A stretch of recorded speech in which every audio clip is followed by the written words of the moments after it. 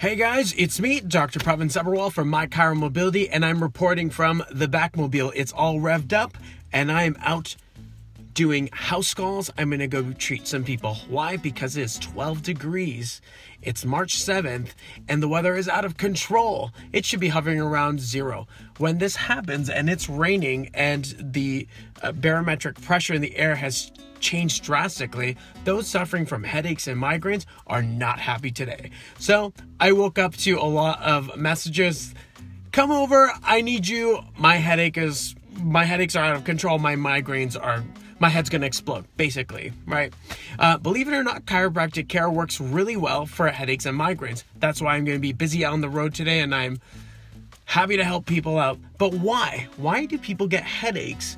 when this happens, okay? Usually the people that are more most susceptible to these kind of headaches when the barometric pressure changes in the air and there's huge temperature changes or when it's raining is that if you are somebody that tends to hold all the tension in your neck and shoulders and you always feel like your neck and shoulders are tight and stiff you're one of the most um, common people to deal with something like this because what happens is uh, you have to kind of treat it kind of like an injury. So when you have tight muscles in your neck and shoulders, they already make you susceptible to injuries.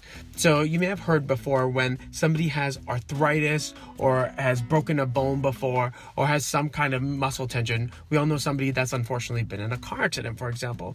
When it rains like this and um, and it's very damp and the temperature is like drastically changed, they go through quite a bit of pain or they'll feel it right in that area, okay?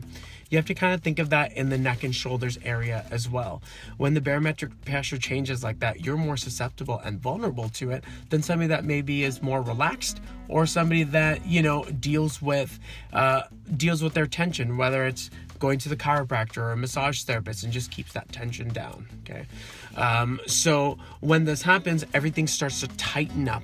Okay. And when the muscles in your neck, especially at the top of the neck, start to tighten up, it causes a pressure in your head and therefore causes uh, headaches. Okay, so what I'm going to be doing with my patients today is I'm going to go there. I'm to work out the tension at the base of the skull, throughout the neck, throughout the neck and shoulders, and then one of the most important things is an adjustment as well. Keeping those joints um, moving and loose also keeps the overall tension in the muscles down as well. So I just wanted to share that with you guys because it was at the top of my mind. If you guys do know anybody dealing with chronic headaches and stuff like that, I would love to help.